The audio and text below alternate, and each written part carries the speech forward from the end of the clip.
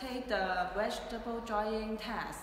Mm, we have two kinds of vegetable. This is leaf vegetable. This is cut into sliced vegetables. Now I open the door and then we put in the chains into the dryer. And then close the door, open the machine. It's okay.